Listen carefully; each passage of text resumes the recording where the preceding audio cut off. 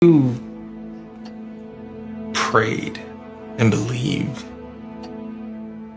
your whole life, never done anything wrong, and here you are. You're the nicest person I know. I am the meanest. You have dementia.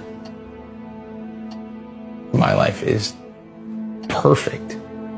Explain that to me. Sometimes the devil allows people to live a life free of trouble because he doesn't want them turning to God. Your sin is like a jail cell, except it's all nice and comfy and there doesn't seem to be any need to leave. The door is wide open till one day time runs out.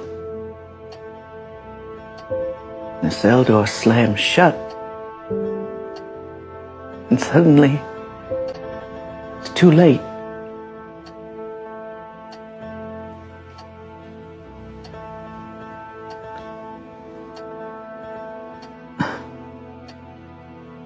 Who did you say you were?